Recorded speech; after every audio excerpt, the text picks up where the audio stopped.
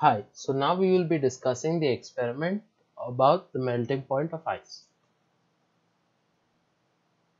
Starting with the apparatus, we will need a funnel, a stand, a thermometer, a beaker and a few cubes of ice. First we need to start by finding the least count of the thermometer. Like all measurement related experiments, for every measuring device we must know its least count. And now we'll take a closer look at the thermometer to find its least count. First we need to find the zero marking and then find the next numbered marking. And there are uh, 10 divisions between 0 and the next numbered marking which is 10. Hence the least count is 1 degree Celsius. Now we will place the thermometer in the funnel and make sure that the thermometer is within the funnel's cone and now we will slowly add in ice cubes into the funnel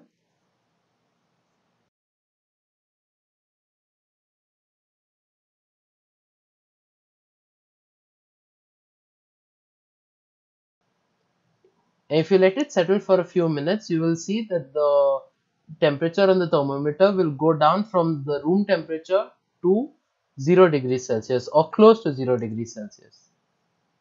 As observed before, the room temperature was at 30 degrees Celsius and now you will see that the reading on the thermometer is close to 0 degrees Celsius. Now we must just let it be and wait for the ice to completely melt and collect in the beaker.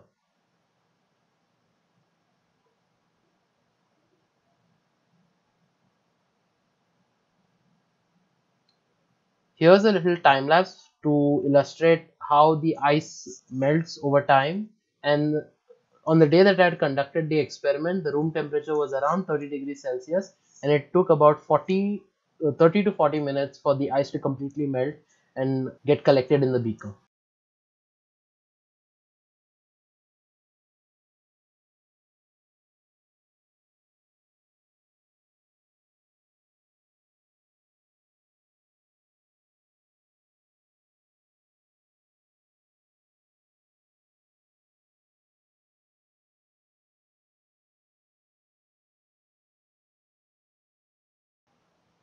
Now you will notice that after all the ice is melted or when the last cube of ice is melting, the reading on the thermometer is close to 0 degrees Celsius and in this case it's close to 1.5 to 2 degrees Celsius.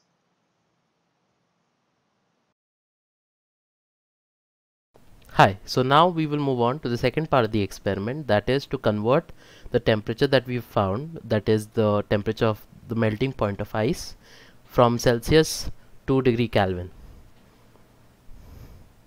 So it will be from degree Celsius to degree Kelvin.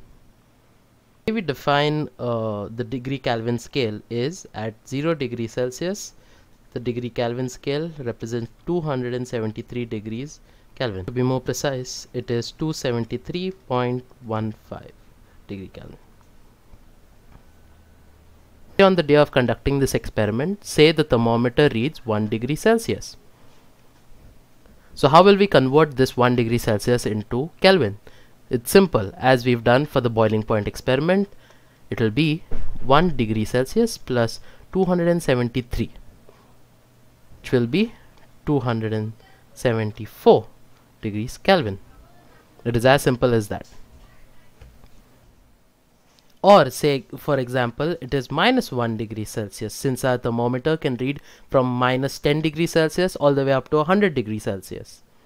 Then in this case we can say minus 1 degree Celsius plus 273 it's minus 1 degrees and plus 273 so we will subtract 1 from this and write the sign of the greater number 172 degrees Kelvin